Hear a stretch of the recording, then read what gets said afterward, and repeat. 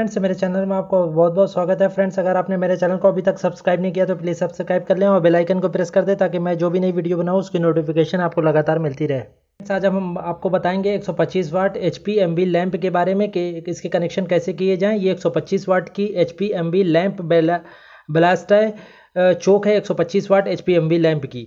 और इसमें जो बल्ब लगा हुआ है, ये भी 125 वाट का लगेगा। तो इस चौक के चार टर्मिनल होते हैं फ्रेंड्स, इसमें दिखा देते हैं, ये कॉमन टर्मिनल है, यहाँ पे लिखा हुआ है, ये कॉमन टर्मिनल है, ये 200 वोल्ट के लिए है, ये 220 वोल्ट के लिए है 240 वोल्ट के लिए। जो हम इसमें कनेक्शन करेंगे, ये 240 वाला ये जो टर्मिनल है, इस पर करेंगे।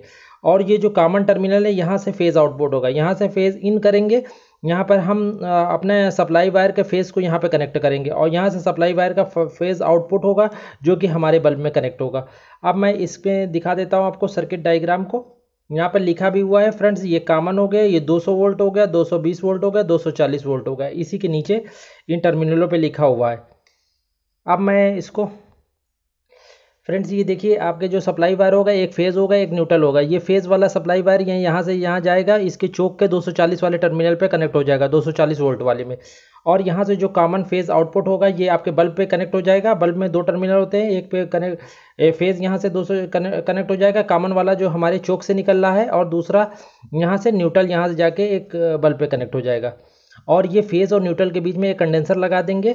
इसकी वैल्यू मैं भी उसको वीडियो के डिस्क्रिप्शन में लिख दूँगा। अगर आप कंडेंसर लगाते हैं तो ठीक है, अगर नहीं लगाएँगे तब भी ये आपका सर्किट कंप्लीट हो जाएगा और ये जलेगा।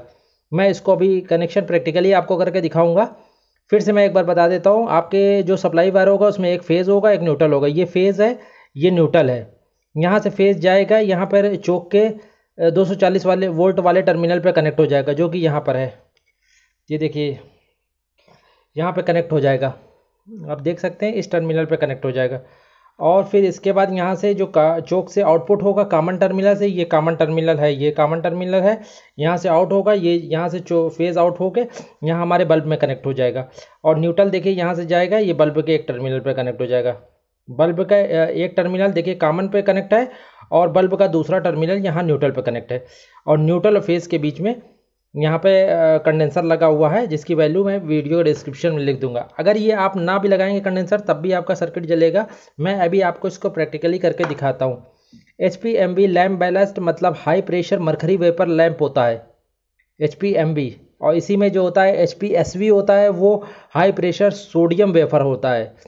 H P S V high pressure sodium vapour lamp होता है। ये हमने H P M B lamp के कनेक्शन बताए हैं, यानी कि high pressure mercury vapour lamp के बारे में।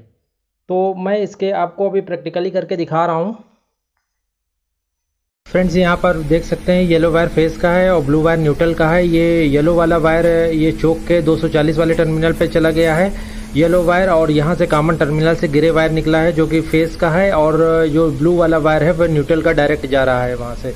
और यहाँ पर बल्ब वॉच कर, यहाँ पर एक ब्लू वायर कनेक्ट हो जाएगा न्यूट्रल के लिए और ग्रे वायर फेस का कनेक्ट हो गया है। तरह से फ्रेंड्स यहाँ देख सकते हैं, हमारे जो जोक से कॉमन टर्मिनल से ग्रे वायर निकला था, वो फेस का हमारे जा रहा है बल्ब में और न्यूट्रल वाला डायरेक्ट बल्ब में जाके कनेक्ट है। इस तरह से ये दोनों तार कनेक्ट हो